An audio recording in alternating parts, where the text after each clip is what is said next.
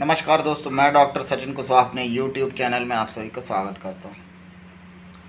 दोस्तों, आज हम डिस्कस करेंगे कि जो सही न्यूट्रिशन है, वो हमारे शरीर के लिए कितना इम्पोर्टेंट है। दोस्तों, हमारा जो शरीर है, वो खरबों, कोशिकाओं से मिलकर बना होता है।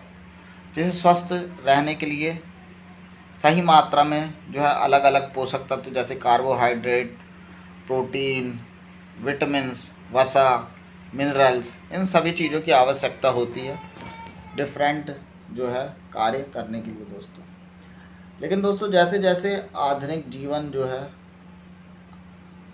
आ रहा है, लोगों की दिनचर्या चेंज हो रही है तो लोगों को अपने भोजन में सारे पोषक तत्व दोस्तों नहीं मिल पा रहे हैं, जिसके कारण विभिन्न प्रकार की बीमारियाँ, एक नॉर्मल बीमारी से लेके जो है कैंसर तक की बीमारियाँ हो रही हैं।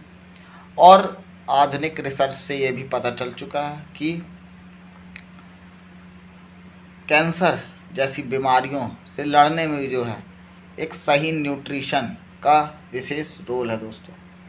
तो आज का वीडियो इसी पर बेस्ड है दोस्तों कि हमें अपने डाइट का पूरा ध्यान देना है और ऐसा भोजन लेना है कि हमें सारे पोषक तत्व मिल सके दोस्तों।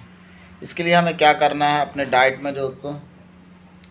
सलाद, यानी सब्ज़ियाँ, फल, और जो है, हर प्रकार की चीज़ जो है, उसको शामिल करना है, चाहे वो दाल हो, चावल हो।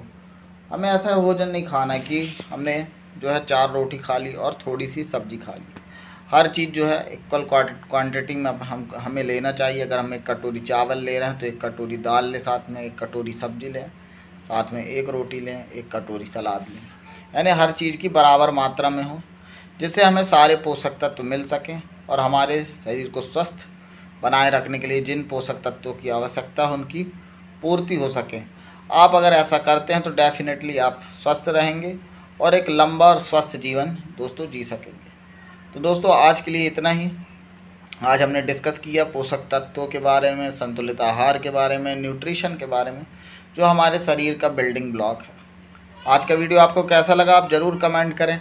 वीडियो को लाइक करें चैनल को सब्सक्राइब कर बेल आइकन को प्रेस करें, क्योंकि हम डेली आपके लिए इस प्रकार की जानकारियाँ लाते हैं दोस्तों। आज के लिए इतना ही दोस्तों बहुत बहुत धन्यवाद।